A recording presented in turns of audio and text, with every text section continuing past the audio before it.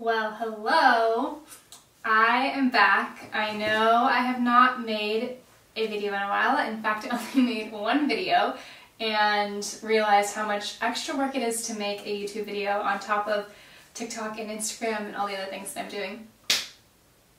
I don't know, I'm just feeling more inspired to uh, go with a longer format than TikTok. It's so choppy and there's not a lot of time to get out a lot of information. I'm feeling more chatty, I guess, these days. And so I um, bought some lights and here we are, ready to make my second YouTube video. And the topic of today is, drumroll please, mealybugs. That's right, my least favorite pest that there is. The reason why we're starting with my least favorite pest is because I just happened to notice that this cute little plant here has a mealybug infestation. I'm sure you're wondering, how do I know if I have mealybugs? What am I supposed to be looking for? And how the heck do I get rid of them? So we will go over all that, don't you worry, I got you, I got you. Um, first of all, what you are looking for. Okay, I can't tell you how many times that someone has told me, there's something wrong with my plant, I can't figure out what it is. And I say, have you checked for pests? And they say, yes, I look for pests. And then I get over there, I look at the plant, and what do you know, mealybugs. What you're looking for is basically um, cotton or like a white little fuzzy substance that you're to find on your plant. They can be so small that you physically cannot see them with the naked eye. And then as they grow to be mature adults, particularly the females, um, you'll be able to see them. The two that are on this plant, they're not at full size yet. One is about the size of if you took a pen and you made a dot with your pen, one of them is about that size. The other one is about the size of like a smaller freckle. But luckily they stand out to me because they are white and I'm always looking for the white. Ugh, they disgust me. They're so gross. Um, you want to look for them literally everywhere. Here's another one. But they particularly like to hide in what I call the elbows of the plant, which would be basically any nook and cranny, but specifically like right here where the leaf and stem come together.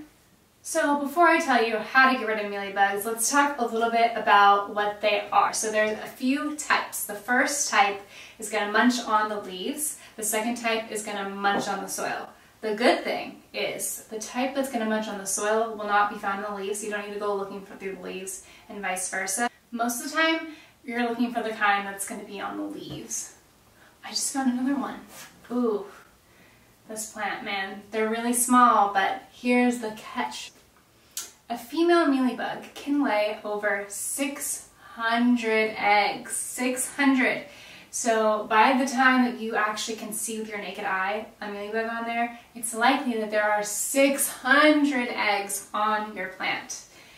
Ooh, yeah, so if you can see a lot of adults, then 600 times however many adults you see is probably how many bugs are on the plant. So your plant's not going to die right away if you have mealybugs, but if you leave them on there, you absolutely will have a upset with you plant to dying plant.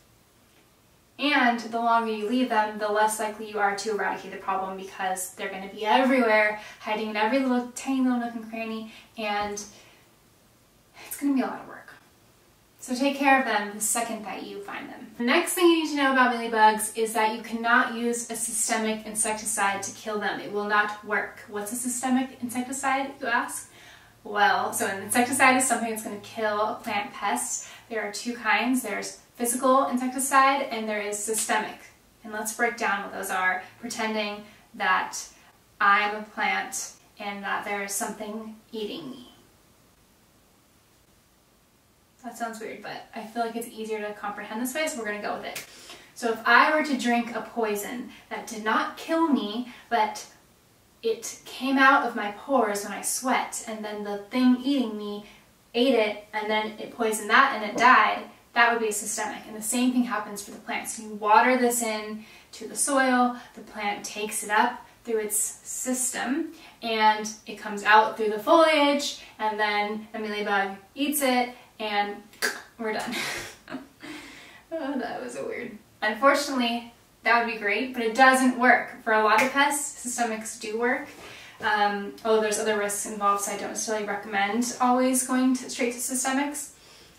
But with mealybugs, they don't even work. It's not going to solve your problem. So what you need to get is a physical insecticide, which means you need to spray this on the bug, which can be harder than you would think if it is hiding in a little tiny corner. So neem oil is an example of a physical insecticide and basically it's a oil that you are going to dilute into water because if you were to just put this straight onto the leaves it could burn the leaves. It's kind of like you know essential oils, they don't recommend that you just put them directly on your skin. You want to dilute them in another oil first and then put them on your skin. Well, with a neem oil, same kind of thing, except for that you're going to dilute it into water. Basically, you're going to follow your um, package instructions for whichever neem oil you buy.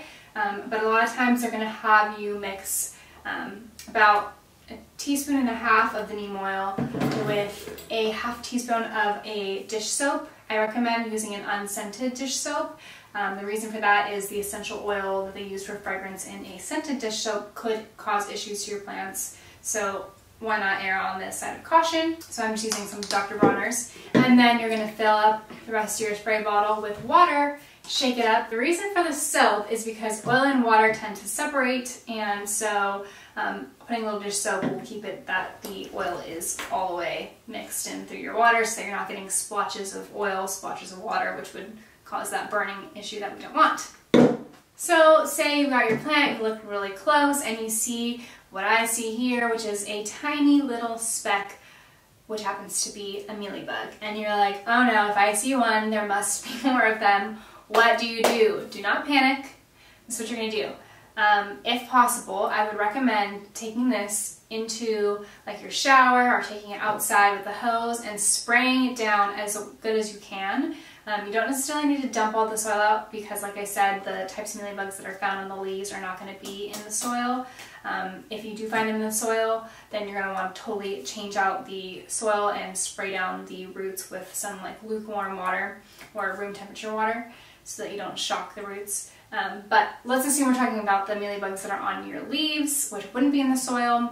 Um, you're going to want to spray down the foliage to get off as many of them as you can. And then the next thing you're going to want to do, or if, you if that's not an option for you for whatever reason, is you're going to get your neem oil spray and you're going to spray down this plant heavily. You want, like I said, if the spray doesn't come in contact with the bug, it's not going to kill it. Um, so you need to get it thoroughly soaked. You can see how I'm lifting up the back of the leaves to get every single spot. I'm telling you, the importance of this is major important. Here is why. Look at this. I'm looking at an elbow of a plant and I discover a sneaky little bugger in there. Here's a better look right there. Yep, mealybug in the crack. So you really got to get every little crack or else that one will have 600 babies. Okay, next step is to wipe down each leaf. You can see I'm very gentle to hold the back of the leaf as I wipe so that I don't accidentally pull off a leaf. Some plants can be more delicate than others, and I'm just going to go through every single I cannot stress this enough, nook and cranny with my paper towel. I replace as I go, especially if I find a mealybug, I'll replace my paper towel at that point. And yes. Then last step is to disinfect our workspace so we don't spread through our workspace. I'm going to give the plant a nice little shake to get off any excess water. And then if you have a fan, it would be good to get some airflow on this plant so the neem oil can stay on there and treat the plant, but we don't get a fungal infection from large sitting water drops. And there you have it, everyone, a happy, healthy plant. My best advice is to repeat this process once a week until you don't see any mealybugs for least two weeks in a row, and then you can move the plant back. Look at my hard drive sneaking back in the frame. You can move it back around other plants at that point. All right, everyone, thank you.